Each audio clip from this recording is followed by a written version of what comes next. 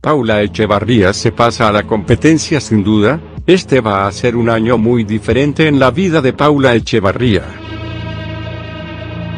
Ni siquiera ella misma hubiese podido adivinar todo lo que le iba a ocurrir en cuestión de pocos meses.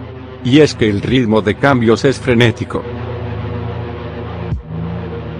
Si primero era su separación de David Bustamante que promete traer cola hasta bien entrado el 2018, ahora la actriz se enfrenta a un nuevo destino profesional.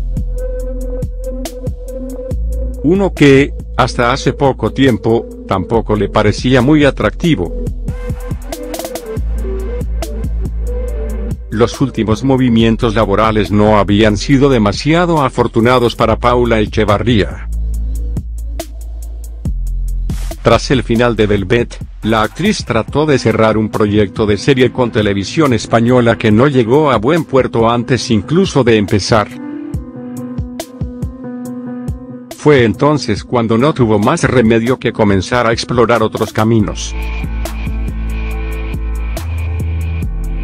Y así, sopesando decisiones, ha sido como Paula ha llegado a firmar un contrato de larga duración con la cadena que tantos quebraderos le ocasionó en el pasado, Mediaset.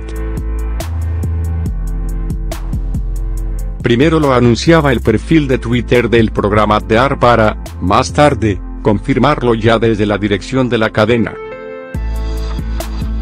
Afronto esta nueva etapa de mi carrera con mucha ilusión y muchas ganas, ha explicado Paula. Para mí es todo un privilegio que cuenten conmigo para proyectos que me van a permitir explorar nuevos registros como actriz y en los que voy a estar rodeada de grandes profesionales. Este giro de guion hubiese sido casi imposible cuando la propia actriz aseguraba que no era demasiado aficionada a Telecinco y sus filiales. Episodios como el Copy Paula cuando Casa Mariposas destapó que la actriz copiaba looks de otras blogueras hicieron que la relación entre Echevarría y Mediaset fuese algo complicada. Pero el tiempo pasa y las cosas cambian.